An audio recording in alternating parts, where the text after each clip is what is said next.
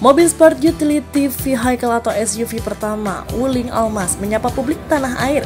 Tidak tanggung-tanggung, produk keempat Wuling ini dihadir dalam kurun waktu kurang dari 2 tahun saat Wuling mengaspal di Indonesia.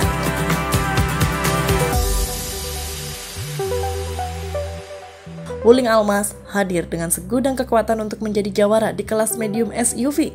Dengan tagline Drive Unlimited Way, Almas mengedepankan smart multimedia, mesin turbo dan banjir fitur pengendalian yang mumpuni.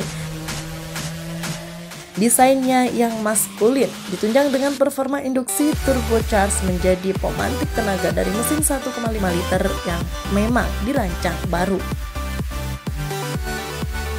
Mesin dibekali dengan transmisi jenis Continuous Variable Transmission atau CVT dengan simulasi manual 8 percepatan mengantarkan Almas memiliki tenaga besar 140 PH pada 5300 rpm dan torsi 240 Nm sejak putaran mesin 1600 rpm ke roda depan.